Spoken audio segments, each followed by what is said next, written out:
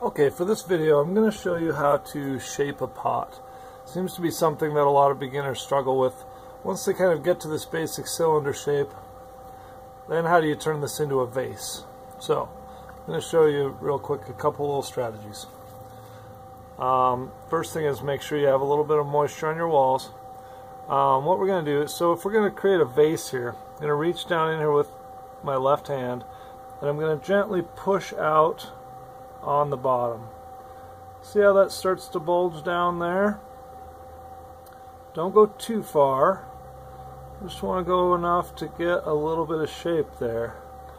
Now for the neck on the vase, take six points of contact like this. So I bend my second knuckle, or my middle finger, I bend that, and use the knuckle for that, and then I use my pointer fingers and my thumbs six points of contact and I'm squeezing as evenly around this neck as I can. See how that just closes it up so nicely? And then you can just take your fingers, this is kind of a wobbly rim, we'll cut that rim real quickly.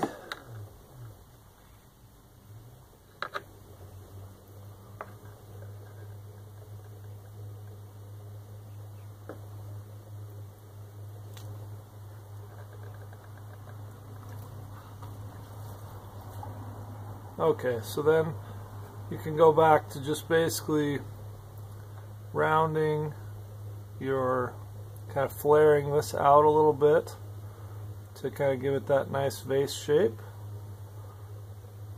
And that's about it.